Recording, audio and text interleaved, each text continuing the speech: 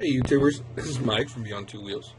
Um, starting out a new year, 2016, and um, I'm going to start doing some new things with my page. I mean, obviously, I'm going to continue to do the, the riding and adventuring and camping and um, ride videos, but um, I'm also going to start including more um, me working on things and repairing motorcycles because that's something that I really love to do.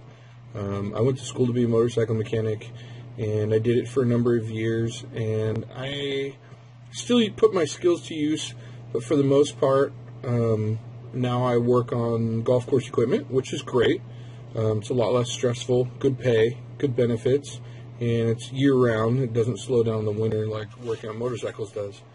Um, but then there's another part. Um, recently, I had to go to the doctor. Um, I haven't been to the doctor in probably over a year, and I nothing serious. I mean, there's not anything seriously wrong with me, but um, went to the doctor, and as usual, when you go into the doctor, they weigh you before you go in, and I guess I've kind of been lying to myself and ignoring the fact that I've been putting on a lot of weight and when I weighed in at 371 pounds, I realized that I really need to do something about it. So, this is me.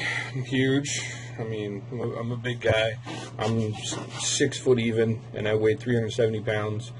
Um, I'd like to try to get down probably closer to about 200 to 250 pounds.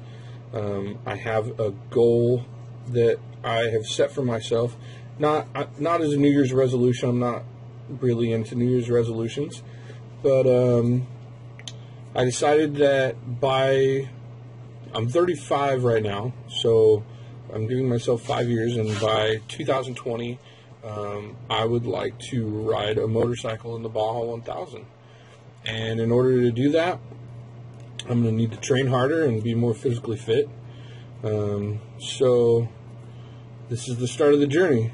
Um, I've been taking some measures, and just ever since my doctor's visit, just been it's been on my mind. I've been eating a lot healthier and uh, trying to pick up my physical activity a little more. Um, I mean, I'm a mechanic. I work on tractors all day. It's not like I sit around, but uh, obviously my eating habits are not helping me, and I need to start exercising some more. So that's what I got to do. So if you want to follow me, that's what's in store for uh, my YouTube page for this year. I'm going to start adding in some videos of what I've been doing uh, to help lose the weight and um, the results, and we can see what works and what doesn't. Um, you know, why watch my YouTube channel?